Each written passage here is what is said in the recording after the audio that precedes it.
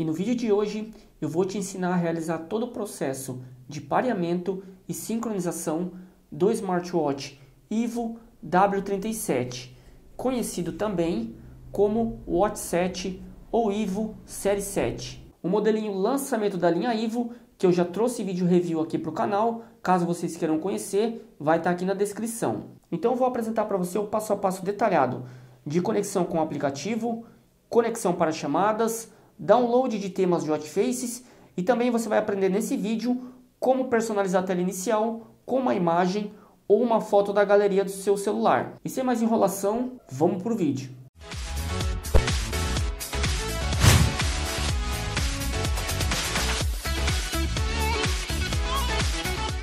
Então, antes de começar com todo o processo de pareamento e sincronização, a primeira coisa que eu recomendo que você faça é vir aqui no Bluetooth, liga o Bluetooth do seu aparelho celular, vem na localização e liga a localização.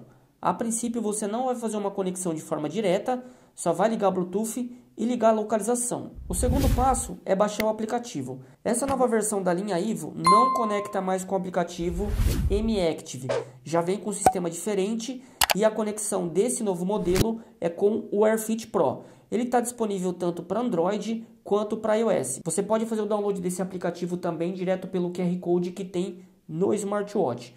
Como eu já fiz o download do aplicativo, eu vou abrir ele aqui pela primeira vez. O que aparecer aqui você aceita.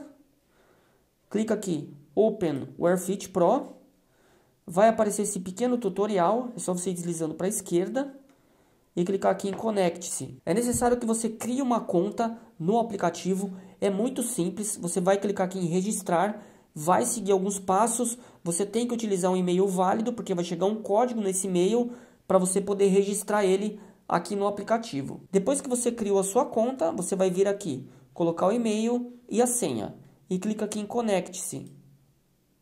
Aqui também tem um outro segredo, você tem que selecionar essas três caixinhas essa última caixinha ela já vem marcada. Então você vai selecionar essa caixinha do meio, clica aqui em ligar e clica aqui para voltar. E aí sim você consegue marcar essa caixinha. Faz isso na primeira caixinha também. Clica em ligar, voltar e aí você seleciona. E aí você vem aqui e clica em eu liguei. Então essa é a primeira tela do aplicativo e a gente vai ter que fazer a conexão a partir do aplicativo. Nessa primeira guia a gente tem toda a parte de resumos, contagem de passos, resumo do seu monitoramento de sono, frequência cardíaca. Nessa segunda guia a gente tem algumas funções esportivas que funcionam em sincronia com o GPS do aparelho celular. Lembrando que o smartwatch não tem GPS, mas nessa função, se você utilizar ele próximo do aparelho celular, você consegue sincronizar com o GPS. Então a gente tem funções de corrida, caminhada, ciclismo, escalada. Nessa guia de equipamento é aonde a gente vai fazer a conexão. Então você clica aqui em equipamento, vem aqui adicionar um dispositivo, clica em permitir. Ele vai fazer uma busca. Olha, encontrou aqui o nosso smartwatch, o Watch 7. Você clica aqui em cima, aguarda um pouquinho até que ele realize o emparelhamento. Aqui ele conectou com sucesso. Clica aqui em executar. Clica de novo em eu sei. Já apareceu aqui o WhatsApp conectado, apresentou nível de bateria e agora a gente tem que fazer alguns ajustes. Como eu mencionei, a gente tem temas de watch faces, temas gratuitos, temos alguns temas pagos também. E você consegue personalizar a tela inicial com uma imagem ou uma foto da sua galeria. Então você vem nessa última watch face, clica aqui em editar, ele vai abrir a galeria do seu celular, basta você clicar nesse sinalzinho de mais, clica em permitir, o que for aparecendo você vai clicando em permitir, e aqui na galeria você vai selecionar uma foto, ou uma foto ou uma imagem.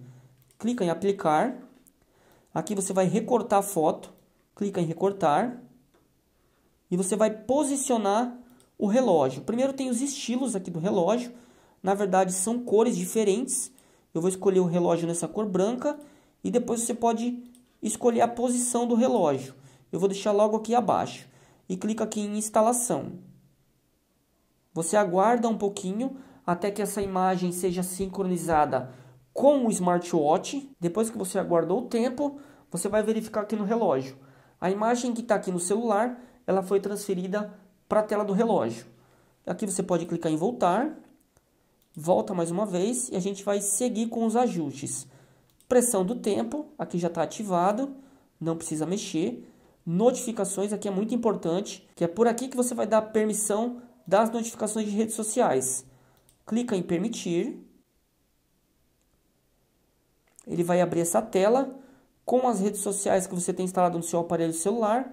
Primeiro você vem aqui, seleciona aqui notificações, ele vai te redirecionar para essa tela de acesso a notificações. É muito importante que você conceda essa permissão. Então você vem aqui no AirFit Pro, seleciona e clica em permitir. Ele tem que estar dessa forma. Aí você pode voltar. E aí você volta aqui e marca essa caixinha. Depois você vai permitir tudo que você quer que chegue de notificação no relógio. Notificação de chamadas, clica em permitir. Notificação de SMS, também clica em permitir. Notificação do WhatsApp e notificação do Gmail. Tenho poucas coisas instaladas aqui nesse aparelho celular, por isso que a minha lista está pequenininha desse jeito. Aí você pode voltar. Temos aqui despertador, que você pode vir aqui e selecionar alguns períodos, alguns dias, alguns horários para o smartwatch despertar. Temos a parte de saúde, que são lembretes.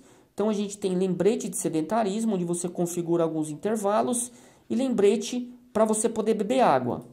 Acesso remoto à câmera, você vai clicar aqui, ele vai abrir a câmera do seu celular. Isso vai servir tanto para a câmera frontal quanto para a câmera traseira. Quando você chacoalhar o pulso ou quando você tocar o dedo na tela do relógio, ele vai disparar uma foto de forma remota no seu aparelho celular. Aqui é para você poder encontrar o smartwatch. Ele estando conectado, ó, aqui ele vai vibrar. Outros ajustes, você pode habilitar essa função para o smartwatch ficar medindo seus batimentos de tempos em tempos. Isso consome um pouco mais de bateria, então recomendo que você não deixe ativado. Aqui é o sensor para quando você levantar o pulso, a tela do relógio acender de forma automática. Esse aqui você pode deixar ativado. E aqui são os formatos. Temos formatos de 12 e de 24 horas.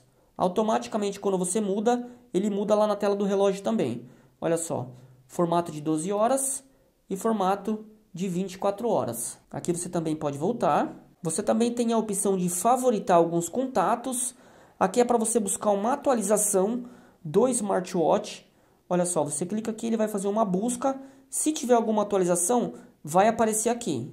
Para mim apareceu que ele já está na versão mais recente. Então a gente pode voltar você pode redefinir o sistema do relógio, restaurar as definições de, fábrica de forma remota e aqui é para você excluir o dispositivo. Nessa última guia é toda a parte de perfil pessoal. Então você vai estipular algumas metas, aqui você vai preencher as suas informações pessoais e a configuração do aplicativo está feita. Porém, se você vier aqui ó, no teclado de chamadas e você clicar aqui para ele abrir o discador, ele vai aparecer essa mensagem, que ele está desconectado. E agora a gente vai ter que fazer a segunda conexão, que é a conexão para as chamadas. Então a primeira coisa que você tem que fazer é vir aqui nessa janelinha de acesso rápido e você vai ter que habilitar o Bluetooth para as chamadas, que é esse botãozinho aqui. Então você clica nele, ele tem que ficar azulzinho, porque senão você não consegue encontrar o dispositivo. E a segunda conexão você vai fazer de forma direta. Vem aqui no Bluetooth, faz uma busca de um dispositivo, como se fosse um dispositivo qualquer, um fone Bluetooth. Apareceu para mim esse dispositivo, você clica, seleciona essa caixinha e clica aqui em parear. Aqui ele já apareceu que está conectado. Vem aqui nessa engrenagem, clica para ver se está todas as permissões concedidas. Então aqui a gente está com a permissão de chamadas, áudio e mídia e compartilhamento de contatos.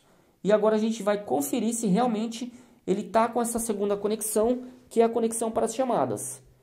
Então a gente vai voltar aqui no discador e aqui ele já liberou o discador. E eu vou discar um número aleatório aqui, só para fazer um teste.